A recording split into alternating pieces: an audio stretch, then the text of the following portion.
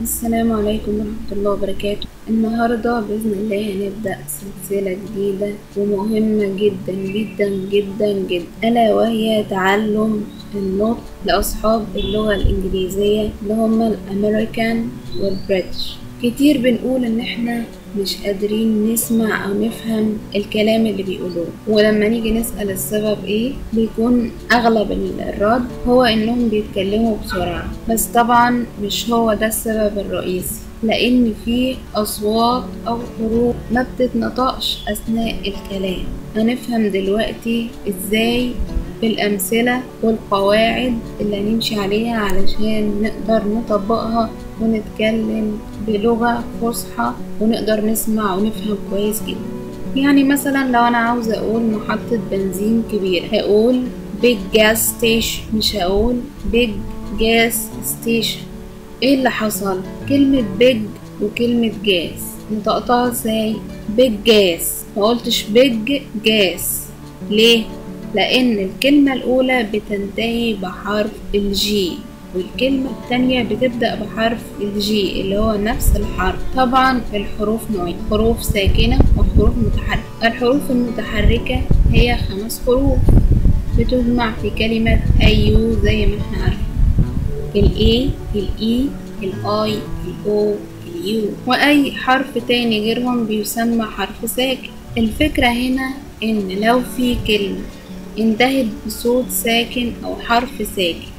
الكلمة اللي بعديها بتبدأ بنفس الحرف أو الصوت الساكن. هنعمل إيه؟ بنحذف الحرف أو الصوت الساكن من الكلمة الأولى.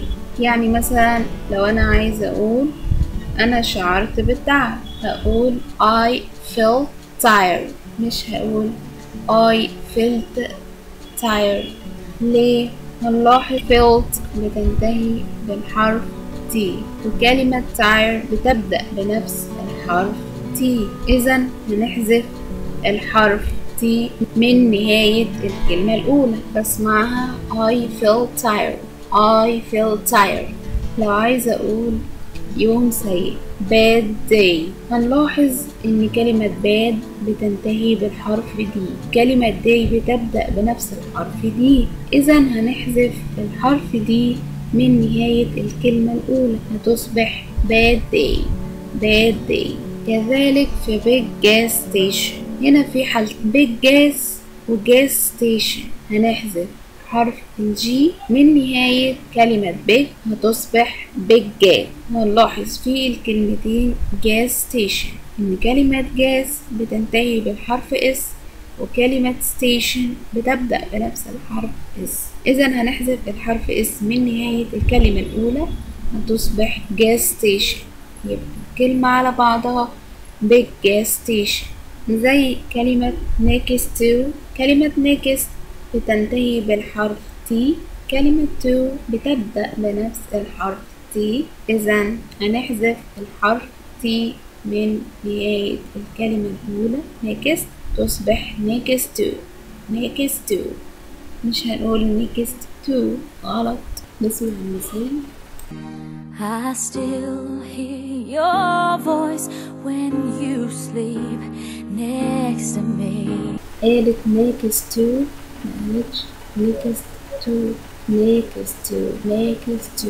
نسمع تاني When you sleep next to me. هنا بقى هنتعلم نصحح الكلام اللي إحنا كنا بننطقه غلط. من هنا هنبدأ نقرب ونفهم إزاي نقدر نتكلم زي الأجانب أو متحدث اللغة الإنجليزية بطلاقة. تابعوني واشتركوا في القناة. فعلوا زر الجرس علشان إن شاء الله يوصلكم إشعار بالحلقات الجديدة. وتابعوا وركزوا واستمروا في الممارسة علشان تتعلم حاجة جديدة بإذن الله. أشوفكم في حلقة جديدة إن شاء الله. السلام عليكم ورحمة الله وبركاته.